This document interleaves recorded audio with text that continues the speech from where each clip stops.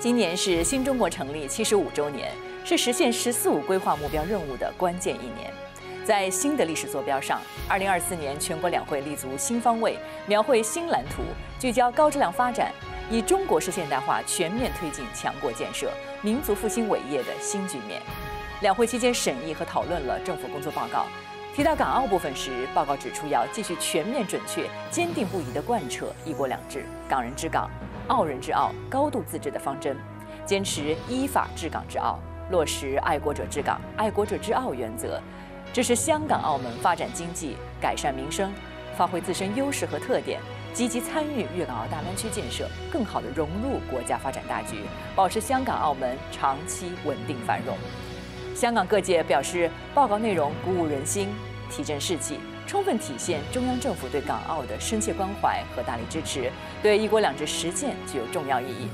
这次两会汇聚了各方的智慧与力量，是一次团结、民主、务实、奋进的大会。各界指出，目前香港正处于由治及兴的新局面，不但有香港国安法这一定海神针，基本法二十三条立法工作也已启动，国家安全、香港社会稳定得到充分保障。接下来要聚焦经济民生方面，把发展经济、提升国际竞争力作为重中之重，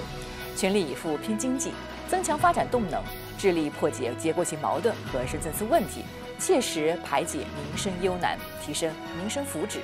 各界相信，在中央政府的支持、香港特区政府的带领下，定能充分把握好“十四五”规划、粤港澳大湾区建设、“一带一路”倡议等国家战略带给香港的庞大机遇。积极融入国家发展大局，提升国际竞争力，更好地服务现代化强国建设。